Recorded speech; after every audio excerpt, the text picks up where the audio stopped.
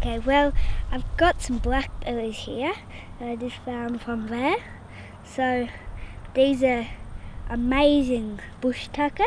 So they're good for um, they're they're feral food. So as we said in the other film, um, feral food gives us feral energy. So this is really good tucker. Um, sweet, like like raspberries, but these are blackberries. So they're just really good. And just make sure they're not sprayed. So um, these are just really yummy. Well, these are some dried blackberries here. So they're yummy to eat. Some of them are a bit mouldy, but they're still alright. Mm, they're quite nice. Some of them are a bit dry. So this one's that I can feel when I squeeze it. It's not so nice, it's a bit dry. But this one, it's a bit mushier. That's real good. If you get your pocket knife out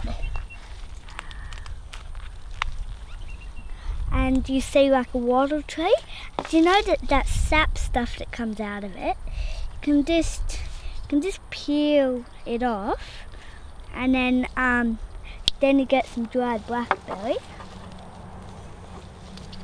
and then and then and then mush it up with with the wattle sap and the dried blackberry and it makes it's it's like a bush bushwallie and it's really nice and chewy and a bit sweet because of the dried blackberry.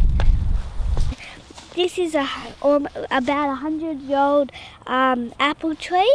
So um, so and it, its apples are just amazing. And that's why it just it's very old so it can look after itself. It has a lot of wisdom and it's and it's very healthy because again no one sprays it. No one does anything bad to it because it's in the forest and it's away from all the pollution and runoff from the road.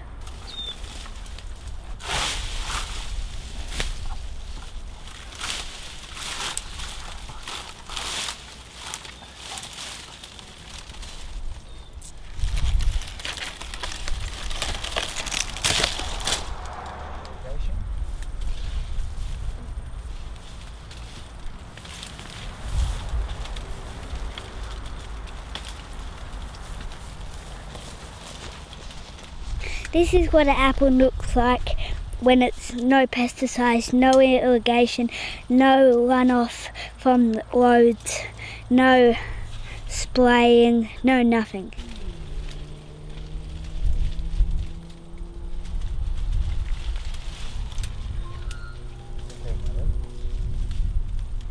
Look, look at these beautiful apples. We're going to go home, dry them, stew them, some for the winter and some to give to neighbours. So let's go and see the little underworld under there. It's it's like a it's like an underworld. It's just amazing spot under the tree. So let's go.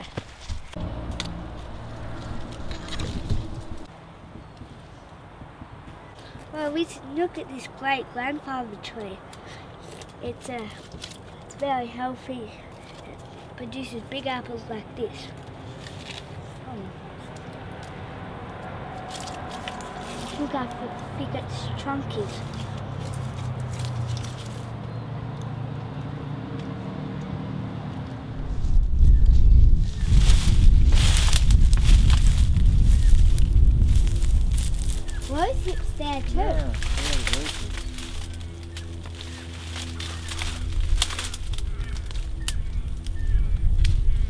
Well, these are rose hips, so you can just in the winter make a warm tea, and then it's really nice to drink. These are some plums here that we just got from that tree there. So, um, they're, so they're nice and big. Some of them are dried. This one's almost dried, but yeah. Um, so we might, we'll probably just eat these because there aren't that many. The birds got most of them, but I think we'll just eat these. Look, this is all the fruit we've collected. So there's some plums and apples here. I Do like our board technique?